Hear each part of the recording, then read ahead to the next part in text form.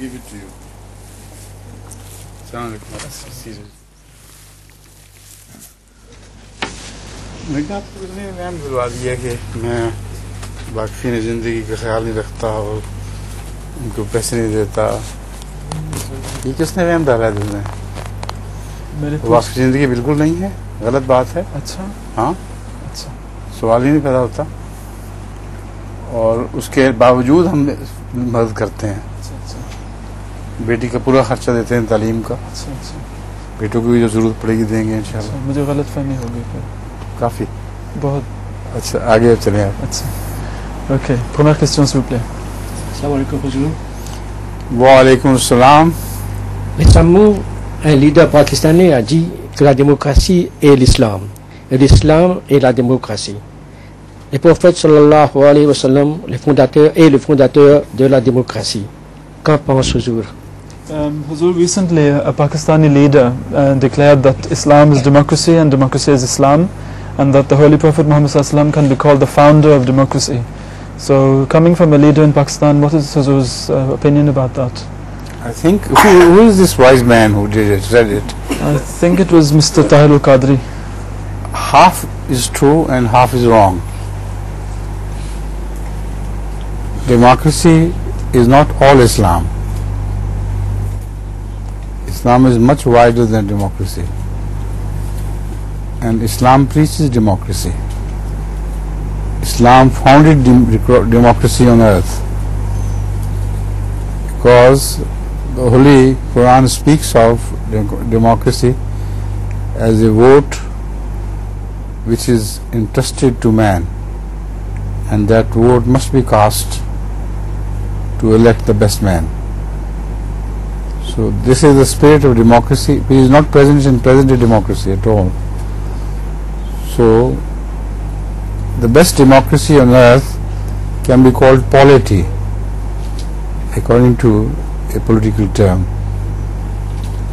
which never exists. But in the days of Rasulullah it did. And also in the time of the latter days in Hazrat Masih Maud Islam's Jamaat true democracy exists right from the lowest level right from the first rung of elections true democracy is can be observed when people choose their leaders they don't propose their own names and uh, people go just for the righteous man.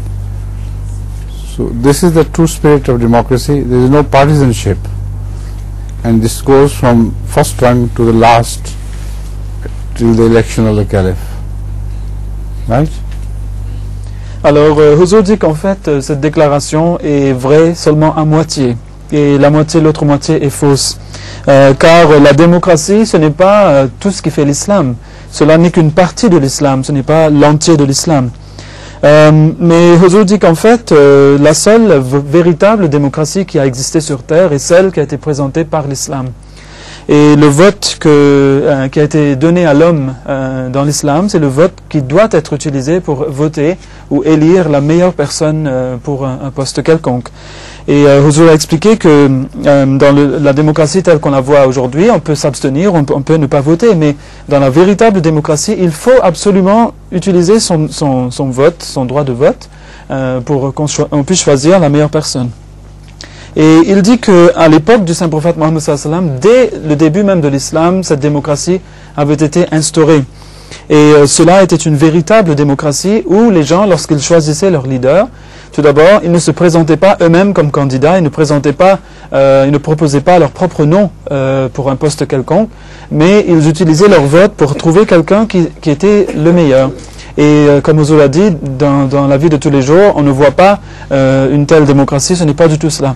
Et euh, dit que en islam, cette, comment dire, on peut dire cette honnêteté dans le système euh, existe depuis le début, depuis le départ, jusqu'à jusqu'au plus haut niveau. Et cela va permettre donc tous les niveaux euh, du système euh, pour élire euh, le système d'élection donc. Alors que de nos jours, ce que l'on voit, c'est que dès le, premier niveau, on voit que les gens sont en train de, se présenter eux-mêmes, et puis il y a la- l'allégeance que les gens portent à leur parti, euh, et sans voir si la personne qui a été choisie par le parti est une personne qui, qui peut faire ce travail ou non. Donc, euh, mais dans une vraie démocratie, cela ne peut pas avoir lieu, car c'est le, c'est, euh, le mérite qui va, qui va primer, et le vote sera utilisé. What's the name of this little one? This one? Yes, no, the other one. Your daughter, Sophia. Huh? Sophia. Sophia? Sophia. Sophia. Sophia, come here. No, I asked you to guess what I have held in my hand and you didn't answer me. Can you now guess what it is? Hmm? Can you guess? Can you guess for whom I have brought this? Can you guess? For whom I have brought this? For you, my little darling. This is for you. I hope you will like these nuts. It's a selection of wonderful nuts from America. So do you like nuts? They're salted, beautifully roasted nuts. And I hope you will like them. Huh? Right? And give just one piece to your mother. Huh? चलो जी Assalamualaikum. Waalaikumsalam. Bismillahirrahmanirrahim. Le Messie po- euh, euh, Maoud euh, salam a expliqué que le paradis et l'enfer commencent sous cette terre même. Y existerait-il aussi un état similaire au Barzakh Um, the question is, Huzur, that the Promised Messiah alayhi salam explained that um, uh, paradise or hell start from this very world. But uh, would there be a kind of a state which would be similar to Barzakh also in this world? Could be those people who travel from hell to heaven or heaven to hell in this world, they're in a state of barzakh. Oui, alors Huzur dit que c'est tout à fait possible, euh, car les gens qui sont en train de voyager vers le paradis ou vers l'enfer, qui sont pendant qu'ils sont encore sur cette terre, eh bien, on peut dire qu'ils sont dans cet euh, état de Balzar, qui est l'état entre les deux, l'état d'attente avant d'a- d'arriver, d'accéder à ce, à ce- ce- ce lieu. Your que?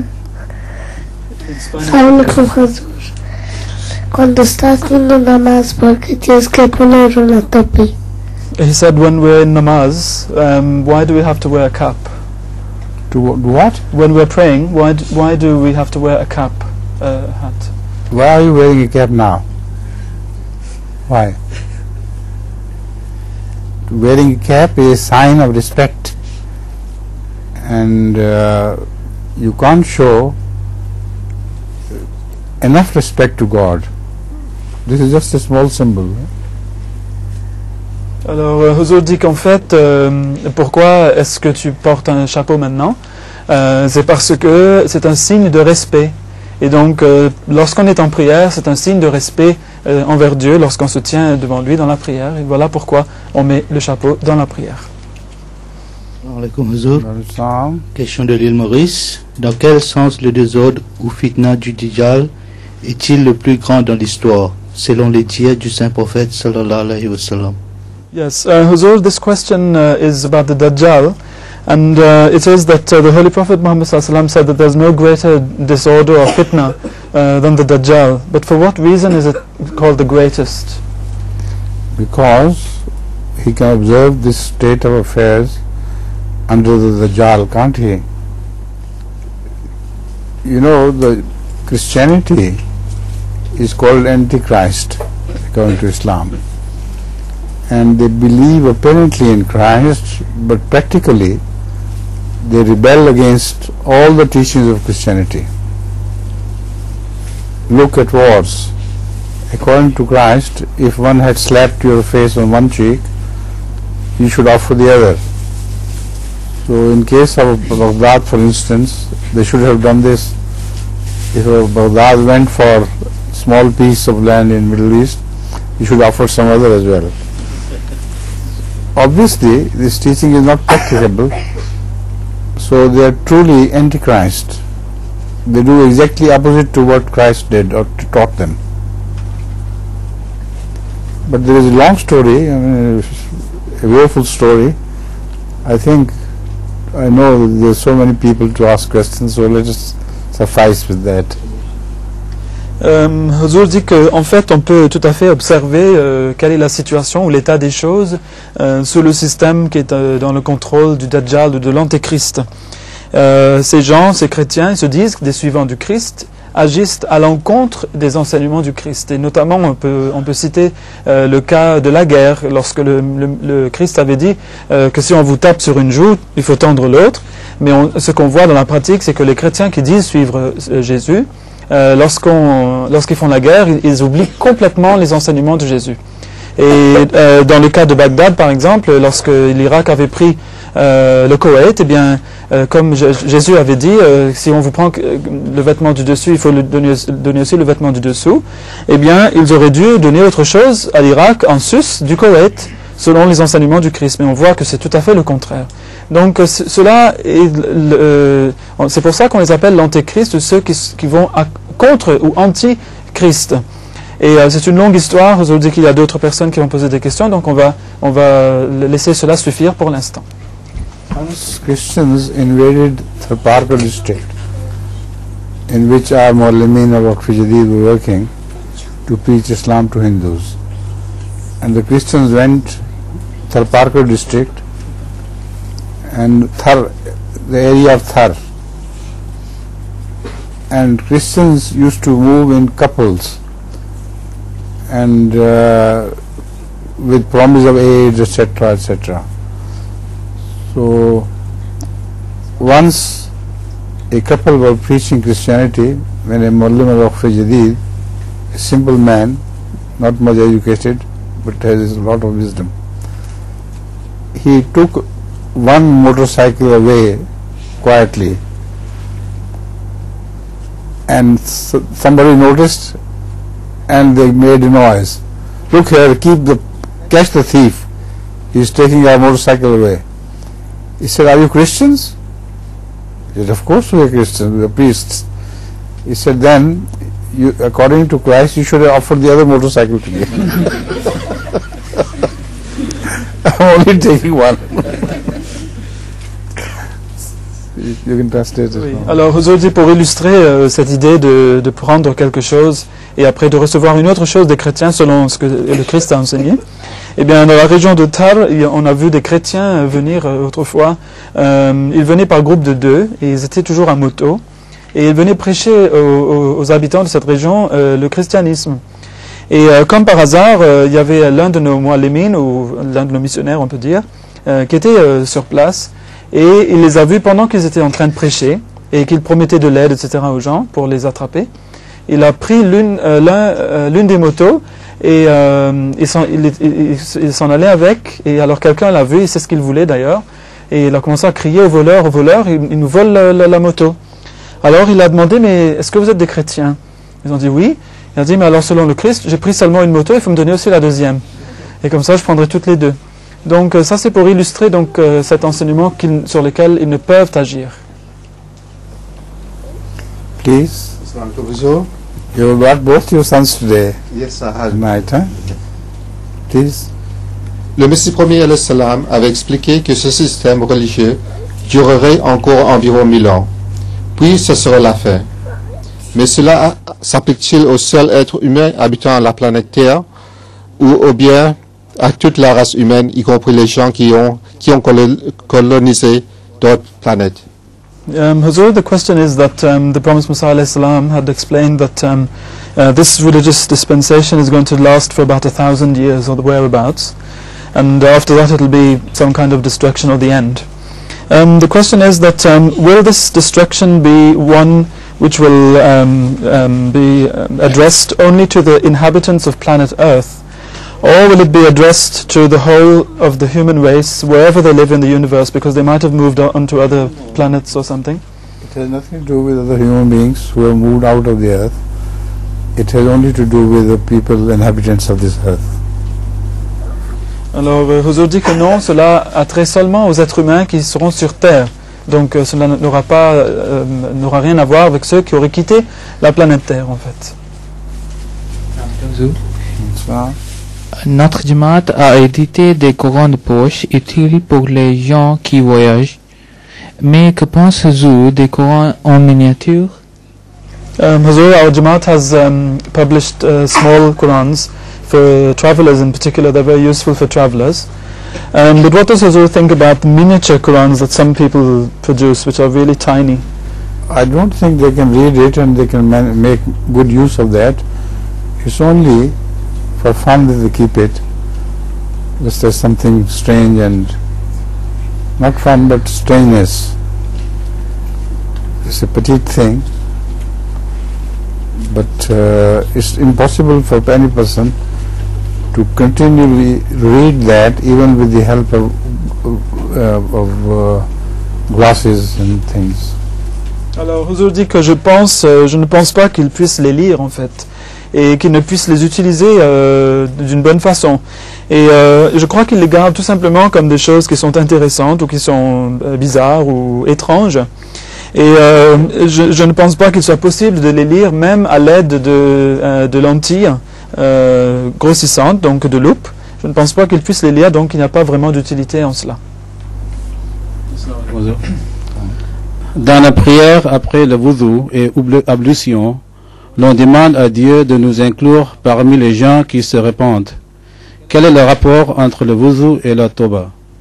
Uh, huzur, in the prayer after the, the ablutions, the wudu, um, we, uh, we request Allah to include us in the people who are pure, and in the, uh, we, we request Allah to count us amongst those who are pure, min tawabina, but uh, uh sorry, um, min al, um, this is mutatahirin, but also among those who repent, at tawabin.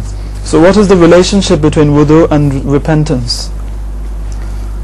you are preparing yourself to appear before God as a repentant, as well as seeking His forgiveness. So it's very well connected. Euh, Huzur dit qu'en fait, lorsque vous êtes en train de faire vos ablutions ou le wudu, euh, vous êtes en train de vous préparer en tant que personne qui se repent devant Dieu, euh, qui va en prière pour se repentir. Donc, il y a un lien très très euh, pu- euh, puissant et très clair. pray in the Mass for repentance as well as for purity. That was the question, yes. Oui, donc Huzur dit que la prière est aussi bien pour le repentir que pour la pureté. Donc la purification et donc les deux sont liés évidemment à cette prière dans le wudu. Le saint prophète sallallahu alayhi wa sallam a dit que l'amour de la patrie fait partie de la foi. Mais lorsque les habitants de votre pays vous per- persécutons et vous maltraitent, quelle forme cet amour devrait-il prendre? Uh, Huzur, the Holy Prophet Muhammad wasallam said that um, love of the of the country is also part of faith, uh, hubbul watan min al iman. Um, but when the people of your own country persecute you and are evil uh, towards you, then what shape should that, what form should that love take? exactly the one which Rasulullah Sallallahu Alaihi Wasallam's love took about the Meccans. They had ill-treated him to the worst possible eventualities. And still, when he returned back to Medina, Mecca, he said, La tasriba alaykum al-yawm. There is, uh, you, you have to fear nothing. No revenge will be taken against you. Euh, Huzur dit qu'en fait, euh, il faut que, que, que cet amour, si vous êtes persécuté par votre pays, eh bien, cet amour prenne la forme qu'avait prise euh, l'amour du prophète Mohammed envers son peuple à la Mecque. Et on sait euh, notamment que les Mécois ne s'étaient rien épargné pour le, pour le maltraiter. Ils, avaient, ils lui avaient infligé un, un traitement terrible. Malgré cela, lorsqu'il est rentré, il leur a dit qu'il n'y aura pas de rétribution ou, ou aucune revanche aujourd'hui. Vous n'avez à, à- à craindre aucune revanche. Donc voilà le- la forme de l'amour que nous devons quand même porter dans notre cœur envers ce peuple qui nous maltraite. Now there is going to be a question in English to be retranslated by you both in English and French. Actually, he's going to try and say it in French today. That's all right. Good, good, yes, yes. Si on voit quelqu'un dans un rêve, doit-on le nous dire Okay, I think I'll have to say that again in French. Euh, si on voit quelqu'un dans le rêve, doit-on le leur dire If you see someone in a dream, and in particular in a bad dream, should one tell that person that or not No. Particularly the bad dream should not be told. And, You should pray for him, that's all. and the good dream as well Good dream to him alone, not to the others. Alors, Huzur dit que s'il s'agit d'un mauvais rêve, dans ce cas, il vaudrait mieux ne pas le lui dire et il faudrait prier pour lui tout, tout court. Mais si c'est un- un- dans un bon rêve, dans ce cas, il faut le dire à, euh, à la personne, mais pas aux autres, seulement à cette personne-là qui est concernée. Yes, c'est une question sur la télépathie. Il semblerait, comme vous l'avez dit, que la télépathie est instantanée et donc plus rapide que la vitesse de la lumière. Est-ce que ce phénomène a un quelconque lien avec Dieu ou est-ce que c'est quelque chose qui peut être scientifiquement euh, modélisable? Et que pensez-vous des personnes qui ont ce don? Um, the question is about tel- uh, telepathy, Huzur. Um, as Huzur said, that telepathy is, a, is an instantaneous process, so therefore it goes even faster than light. Um, now, the question is that uh, has this got to do anything with God at all, or is it something that can be quantified by science, and is it something which can be developed or learnt? Est-ce que j'ai raté un morceau à la fin? All these things are possible. Telepathy is uh, a transfer of ideas without any medium. No electrical or magnetic medium is involved inside within between the two, and uh, it doesn't matter whether one is in Japan and another person is in London. If both the minds are attuned to each other, in that case, if one thinks of something, it reaches the other person. I tried it myself with uh, Lal Khan Sahab of Canada when he was in Japan. And at some given moment, I used to think of some idea to be conveyed to him. And not always, but many times, exactly at that time, he received that idea into his mind. From me, of course, but apparently from within him, this idea sprang to his mind. So I a witness to this telepathy. Euh, donc, euh, Huzur dit que la, télépathie consiste en un transfert d'idées d'une personne vers une autre, sans euh, le biais d'un médium quelconque, que ce soit matériel ou électrique ou autre. Et cela ne fait aucune différence si la personne est dans la même chambre que vous, ou que l'une des personnes soit au Japon et l'autre à Londres. La pensée peut être transférée en même temps, donc euh, au, même moment où elle se, euh, se formule, où elle est formulée chez l'une, vers l'autre. Et euh, moi-même, je l'avais essayé sur une personne qui était au Japon. Et Hozo dit que donc je, me fixais sur une idée quelconque et je voulais donc que cette idée soit transférée à, lui. Et souvent, c'est arrivé, pas toujours, mais souvent, l'idée venait en lui-même et se formulait dans son esprit comme si c'était sa, propre idée. Mais bien sûr, elle venait d'ailleurs. Mais euh, j'ai donc fait l'expérience de cela et toutes ces choses sont tout à fait possibles, comme, euh, euh, comme ce qui a été, été dit dans la question, c'est tout à fait possible qu'il en soit ainsi. Right. He gives you the right to ask know, out of courtesy. Canada. Dans son livre Révélation, rationalité, etc., Huzur parle des différences existant entre la, la révélation et l'inspiration. Mais qu'en est-il de l'intuition? L'intuition est-elle distincte de l'inspiration? Comment peut-on développer son intuition Et devrait-on laisser l'intuition jouer un rôle lorsque nous prenons des décisions imp- importantes? Um, this is a question from Canada, and it, will, it uh, relates to uh, book, uh, Revelation. Um, Huzur had written in this book uh, about the relationship between revelation and inspiration. But there is a third thing, which is intuition. And the question is, is there any relationship bet- at all between intuition and revelation? And secondly, um, can intuition be developed at all? And uh, also, can intuition be used for? Of course, I have understood this question. Revelation is from God on high, and uh, intuition is from man within. And uh, sometimes one knows from intuition that something is going to happen, or uh, somebody is think is thinking this or that at that moment. It's a type of parapsychology, but it uh, has been established that it does exist. And there was one last part, if I may, Huzur, of the question which I missed, and it was: Should we allow intuition to play any role in our decision making at all, or not? Well, I doubt it. If you know, the best thing is to do istikhara and then take the decision. Alors, euh, Huzur dit que la révélation vient de Dieu, l'intuition vient par contre du fort intérieur de l'homme, donc cela naît de l'homme. Et parfois, on sait par intuition que quelque chose va se produire, un événement, ou que quelqu'un est en train de penser à quelque chose, et donc euh, cela euh, relève de la parapsychologie. Euh, mais euh, Huzur dit que je doute fort qu'on puisse, que l'on puisse utiliser l'intuition pour prendre des décisions. Là, il vaudrait mieux s'en référer plus à la prière istikhara et après de, de décider après l'istikhara, mais ne pas euh, décider seulement sur la base de l'intuition. Personally, I depend on my intuition, and I take many important decisions, and perhaps almost 99% I'm right. When people come and meet me for some about purpose, I know the real purpose behind, and that is through intuition.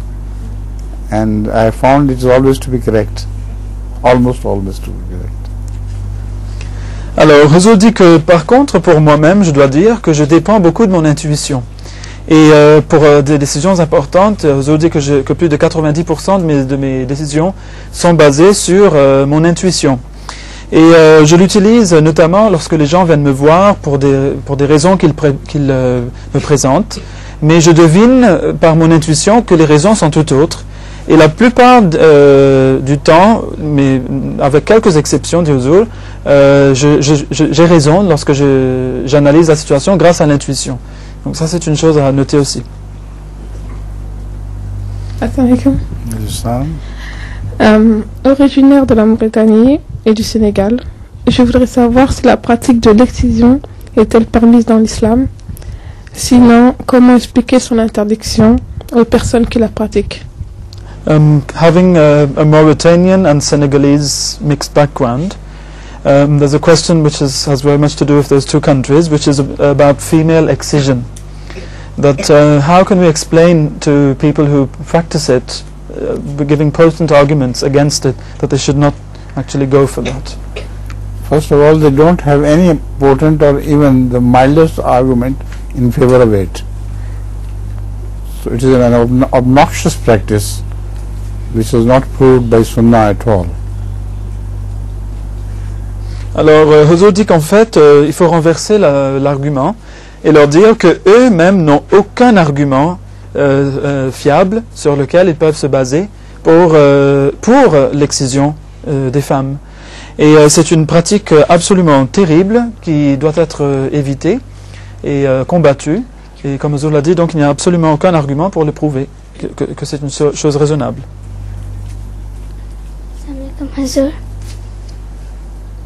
Yes? Qu'est-ce que c'est l'état de Barzakh? Another question on Barzakh Huzur, and it is, what is the state of Barzakh really? State of Barzakh Barzakh is a period between death and ultimate uh, Yawmul Qiyamah, that is the rising of the dead from the dead, rising of the souls of the dead from the dead. So this intervening period is very prolonged. It uh, may be as long as a billion years.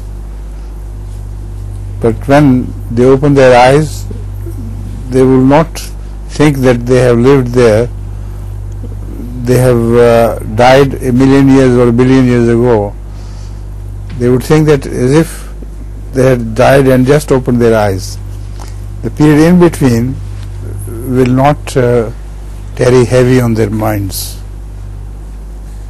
Alors, euh, Huzur dit que l'état de Barzakh cet état, cette période entre la mort et le jour de la résurrection, qui sera une période très très longue, mais euh, qui sera comme un sommeil, car les gens qui, euh, lorsqu'ils vont se, sortir de ce Barzakh, lorsqu'ils vont se réveiller, lorsqu'ils seront ressuscités, eh bien, ils n'auront pas l'impression d'avoir vécu pendant des milliards d'années dans cet état de somnolence en attendant le jour de la résurrection. Ils vont avoir euh, l'impression d'avoir été dedans seulement pour une journée, une partie de la journée ou même moins. Donc euh, voilà ce que c'est que l'état de Balzac. Ça, le Nika, on réalise que la personne ne se comporte pas selon les directives de l'islam. Doit-on terminer l'affaire ça et là ou doit-on garder le silence et prier que tout s'arrange Um, this is a question, uh, a general question about nikah, and it is that uh, if um, there's a proposal of marriage made, and then before the nikah, it is discovered that the other party, despite all the good intentions which they had in the beginning, it's uh, discovered that the second party is not behaving Islamically. In that case, should the thing be stopped there and then, or should they be There and silent? then. Ah, ok. Bon, c- dit arrêtez-le ça et là. Point. Ouais, ça, Quand tout le monde sera au paradis, on va et restera pendant longtemps. Mais seulement Allah est éternel. Donc, que nous arrivera-t-il Um, when everyone will have been pardoned and everyone will be in paradise eventually, we hope we'll be there for a very long time. But only Allah is eternal, so what will happen to us eventually? you will be become eternal, hanging on Allah's will. Eternity has two ends.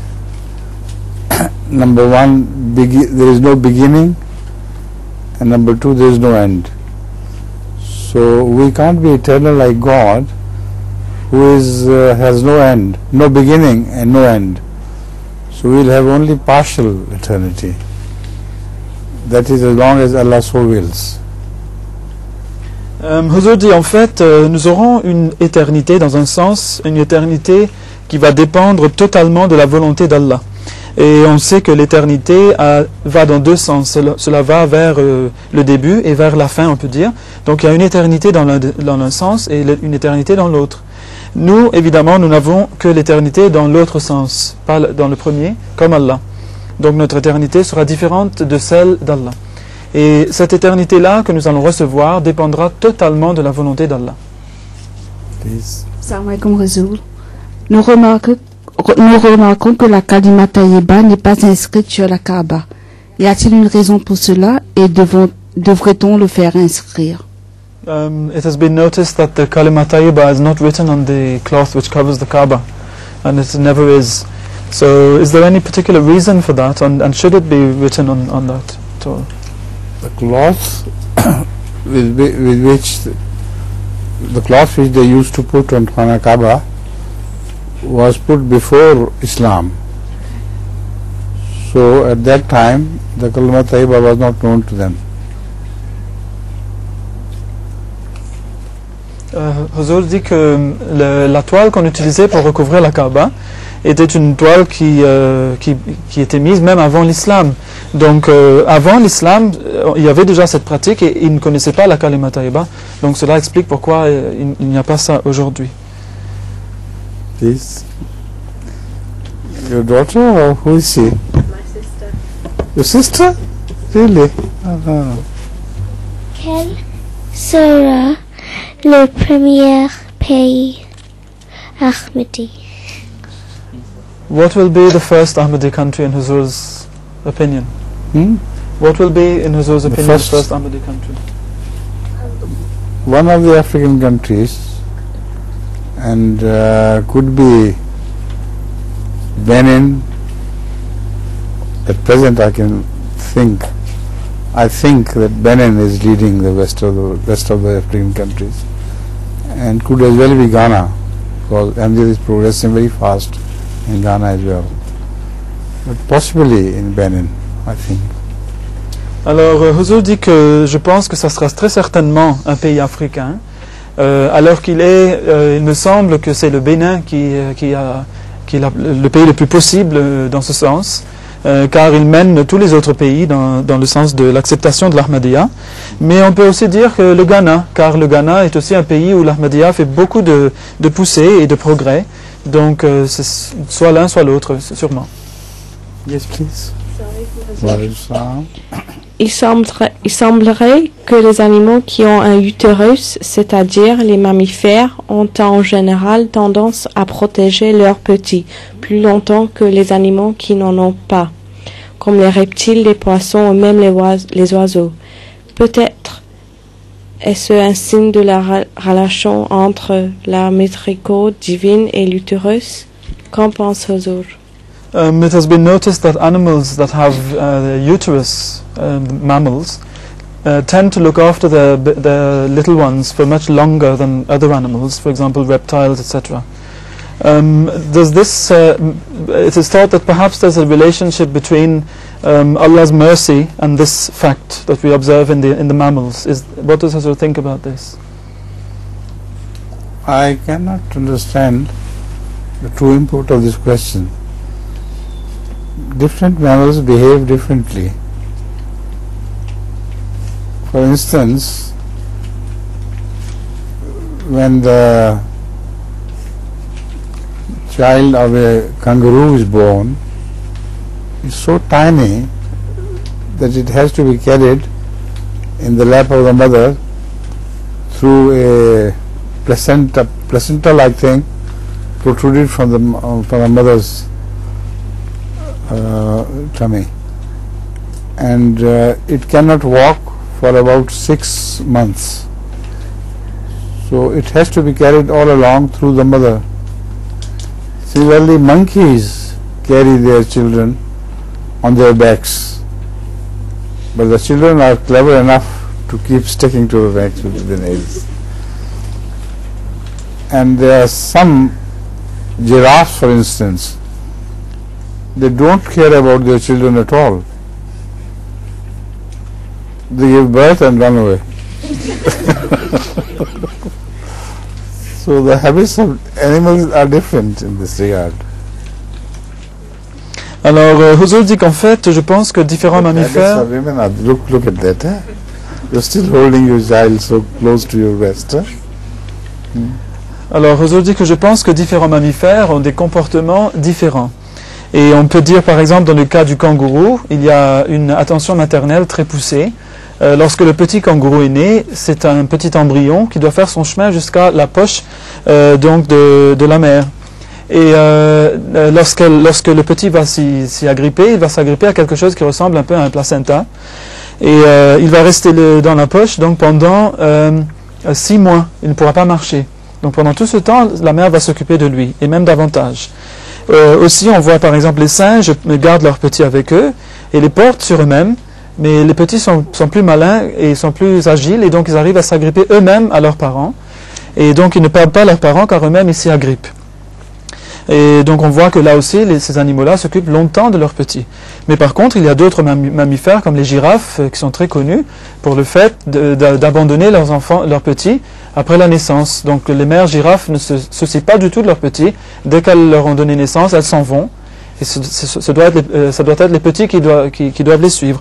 Donc les comportements sont très différents au niveau des mammifères, mais dans le cas de l'être humain, donc chez la femme, on voit que la- l'attachement entre l'enfant et sa mère et la protection maternelle est très durable et très poussée.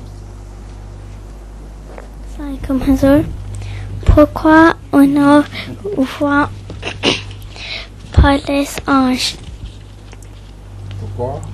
Pourquoi? On ne, on ne, on ne voit pas les anges Ah oui. Why can we not see angels, Hazur most of the things in the world which exist you do not see. Do you see air? Don't I? Air is quite thick thing. If it's blowing, then you feel it on your face. But uh, angels are one of a trillion things which human eyes cannot see. You cannot see waves television waves, for instance. Can you see them? There are thousands of television waves here in this room at this present time. So this is why angels are even beyond the reach of television. Even televisions cannot catch them. So things are more and more refined as we travel towards God until Allah is only seen through His signs, not with physical eyes. Angels are one step lower than Allah. Alors, Huzur dit qu'en fait, la plupart des choses dans ce monde, on ne peut pas les voir. Par exemple, il y a l'air. Pourtant, l'air est très dense, car quand il y a le vent, on le sent sur sa peau. Mais on ne peut pas euh, voir l'air. Euh, il y a aussi, par exemple, les rayons, les différents euh, types de rayons qu'on ne peut pas voir. Et puis, il y a les anges qui sont seulement des exemples parmi des milliards de choses qu'on ne peut pas voir dans ce monde. Pourtant, ces choses existent. Euh, il y a les rayons que la télévision peut capter et vous retransmettre en tant qu'image, mais nous, nous-mêmes, nous ne pouvons pas voir ces rayons. Donc les anges, euh, au-delà de ces rayons, il y a des choses plus euh, subtiles encore que sont les anges. Et si on va encore au-delà, on va arriver finalement à Dieu, à Allah. Eh bien, on ne peut alors les voir que par des signes, que par leurs signes, on ne peut pas les voir eux-mêmes, c'est impossible. Incidentally, you daily see the angels through signs. Every time you think of something good to do, that is uh, an idea born out of an angel's, um, shall we say, in, in, not intuition, but an angel's uh, Inspiration. inspiration. Yes. An angel inspires you to do good things. And when you think of a bad thing to do, not you particularly, but many children do, they do it at the behest of the Satan. So both angels and Satan are within human beings. They both can be experienced through their signs. Alors, dit qu'aussi, il faut qu'on dise qu'on peut voir les anges tous les jours à travers leurs signes, les signes qu'ils laissent. Et euh, par exemple, on peut dire qu'à chaque fois qu'il y a une bonne idée qui vous surgit dans la tête, une, idée de faire une bonne chose, euh, cela est en fait inspiré par un ange. C'est une inspiration qui vient d'un ange pour vous donner cette bonne idée. Et euh, de, l'autre côté, on peut dire aussi que si euh, une mauvaise idée vous vient en tête, il lorsque des enfants veulent faire des mauvaises choses, c'est sous l'instigation de Satan. Donc, euh, et les anges et Satan existent à l'intérieur de l'homme et on peut les voir à travers les signes qu'ils laissent. How many children are you, by the way? Your sister has reminded me of this question. How many sisters and brothers are you? Uh, there's just two of us. Just two of you? Yeah. All the family is here? I see. No brother? No. When did you move to England? I was born here. You born here? Yeah. And your parents? Uh, They're my Mauritius or they're here? uh, no, my mother's Mauritian. She lives here. Your Uh, mother is in Mauritius? No, she's Mauritian, but she lives over She here. lives here? I Yeah. see. And your father? Uh, he's from Trinidad. Is that so? Yes. Uh-huh. But he passed away a Right. couple of years. Now I know. Please? Ce qu'il est inutile de prier pour les anges qui n'ont pas de volonté. Mais qu'en est-il pour les animaux, par exemple, pour un, an- un animal malade Yes. Um, the question is still on angels, Zur, and it is that it's we know it's useless or pointless to pray for angels who don't have a will anyway. But uh, what about animals? Can we pray for animals, for example, a sick animal that it could be cured by God? Is there any Why value? not? Yes, you can. If you have a favorite cat and she falls ill, you can pray for her. If you have a favorite bird, like uh, parrots, you can always pray for him. And uh, Allah may respond to your prayer. But for angels, you don't need.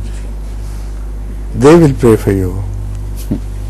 Alors, Huzur dit que oui, pourquoi pas. Si par exemple vous avez un chat favori qui est tombé malade, vous pouvez prier que Dieu le guérisse. Et si vous avez un oiseau, par exemple un perroquet que vous aimez beaucoup et qui est tombé malade, vous pouvez prier pour lui. Et Dieu peut répondre à cette prière et, et, euh, accepter la prière. Mais il est inutile de prier pour les anges parce que les, euh, les anges eux-mêmes, en fait, ils sont là pour prier pour vous et ils vont le faire. Est-ce qu'il y a un droit spécial pour garder les enfants bons et obéissants? A very appropriate question now. It says that is there any is there any special dua to make uh, uh, children become obedient and uh, good? Are you worried about your own child? Yes, I noticed it. Her child is clinging to her so close, and your child ran to your her, his uncle. Eh? So that is what you mean Um, no, not really. It's just Not really, the but- naughty things. In a way, eh? Yeah. The best dua is the ربنا هب لنا من أزواجنا وذرياتنا قرة أعين وجعلنا للمتقين إماما.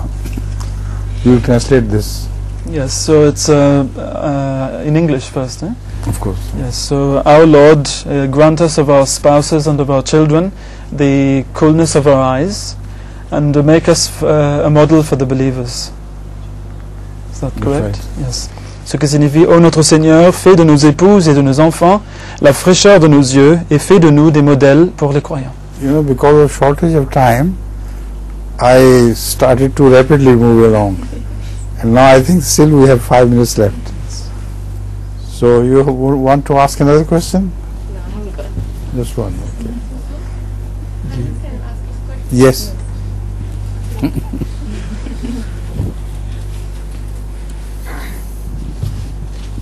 Huzur.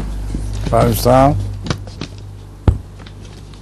Que pensez-vous du fait qu'on ne laisse pas Farah Khan venir en Angleterre Um, recently, uh, it was uh, said about in, about the, the government in Britain that they refused to let Farah Khan, the leader of the uh, Nation of Islam, come to England to make any deliver any talk or anything, uh, because on the basis that he's a racist person and speaks against white people.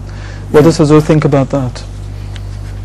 Well, every country has a right to permit anybody to enter or not to enter. It all depends on the attitude of the person.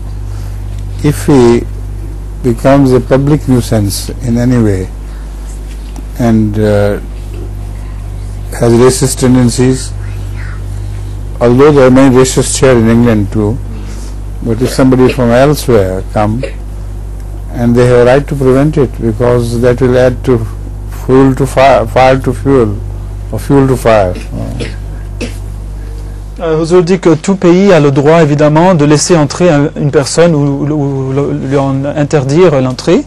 Euh, tout va dépendre évidemment de la personne elle-même. Et euh, si une personne est, une source de troubles dans la société, cela a des tendances racistes, avec une petite parenthèse que bien sûr il y a beaucoup de gens racistes ici en Angleterre aussi. Mais cela dit, si la personne euh, a ces tendances et va causer des troubles, ils ont tous les droits euh, pour empêcher la, la personne d'entrer au pays et de, de faire des discours sur le sol britannique. Arshad, where did you learn your French? In, in Africa, sir. In Africa? In Nairobi. We went to an English school and we had a French tuition. But you were in, in Nairobi when you were a very small child. Yes, I was there. We had a French. We, uh, our Abu sent us to special French classes to we had a French. Is it right? And you still remember, mashallah. Yes. I also speak with my aunt. We always get an opportunity to Uh-huh. speak a lot. He does? So Really? fresh, fresh off. To improve your French Yes. or to do the opposite to her?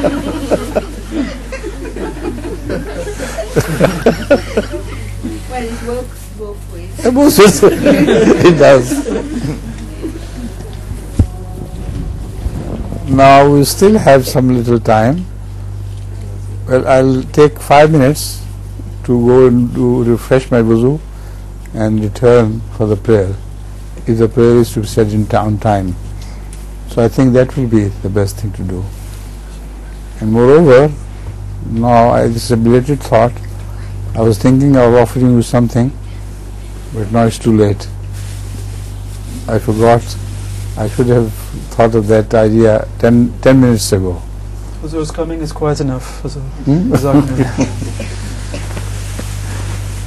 And uh, who brought the food last time?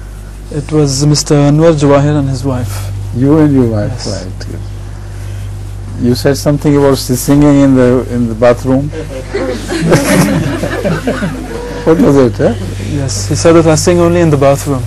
So what And did you, how did you connect it with the Yes, uh, Hazur asked, uh, how does did your wife prepare all that? Where did she find the time? So I said, while he was singing in the bathroom, she did it. That's in Islam, right?